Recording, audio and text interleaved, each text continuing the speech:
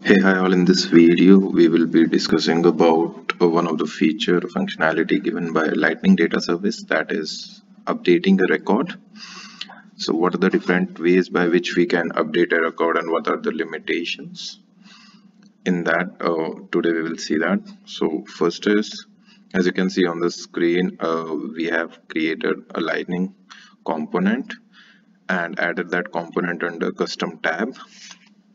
So we can use lightning record form to edit or to update a particular record using lightning data service. In this there are two things like we can use full page layout we can set the attribute as full and we can set the attribute as compact. So all the fields which are in compact layout will be available for updation or on that particular fields only we can edit a record then we have edit a record with a custom layout using lightning record edit form. So in this we will define the fields which we want to edit and uh, we can edit that it will use the standard layout or the look and feel which lightning or which is provided in Salesforce Lightning. Then the third approach or third the third way by which we can do this is by creating a customer user interface or, or a custom user interface by using force record data in this we can add and we, we can use html and all that stuff. And uh, we can add or remove the fields and uh, how much size we want for that particular field value and how we want the text of that particular field label. So that all things we can customize using force record data. So let's see the code once so this is the code. So first we have we are having like the attributes. We will set we will set up some of the attributes.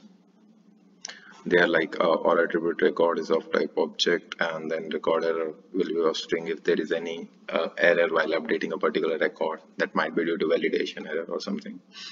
And then we have lightning record form. In this record id we will pass the record id which uh, on that particular uh, record or on which record we are the record id of that particular uh, record will be passed.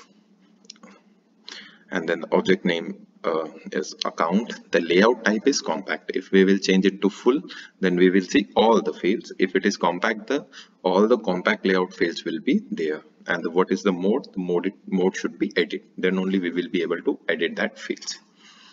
Okay the second way is lightning record edit form. In this, the record ID we will get from that particular record on which we are right now. So for an example, we are on this record. So this record ID will be fetched and how this will, uh, how this record ID we will get. So we will get this by using this interface.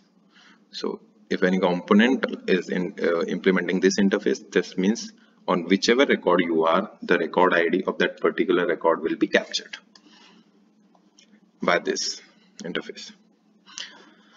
Then we can mention like uh, or we can specify what all fields we want on that particular uh, layout or thing.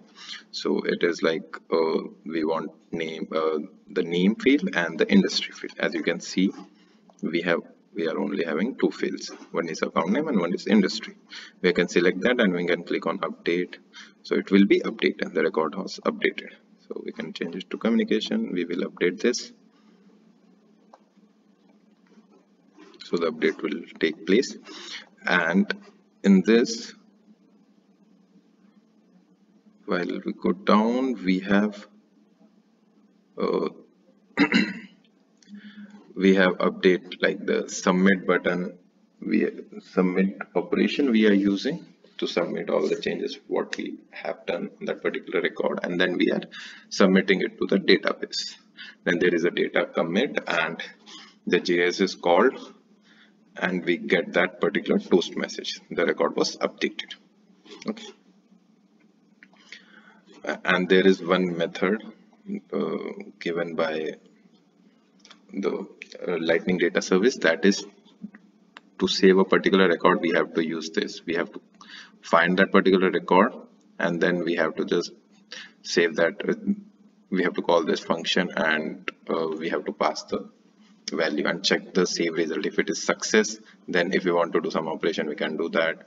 If it is incomplete then if we want some uh, of the error or generalized error we want to showcase it to users. So in that we can do and the third one is the more customizable or the custom user interface which we create usually for the business requirements or as per the business requirement. So we have force record data the id is record handler. And uh, the fields we have defined name billing city billing state. And then target record is the record target fields are simple record means what all fields we we want to update that we can mention it. Then we want to display an edit form. So we can name any the div, div tag any class name we can mention whatever we want. Then we can give it an icon and we can give it a title. Then the input will be account name and we will save that account the label of that will be save account variant will be brand and on click event we will call this handle save record. So handle save record will be called. So and if there is any error so we can just showcase that error on the screen so that user will know if there is any validation error or if there is any data error which a user is facing so this this is the lightning record form the most customizable one. Thank you. Have a nice day. That's all for today's update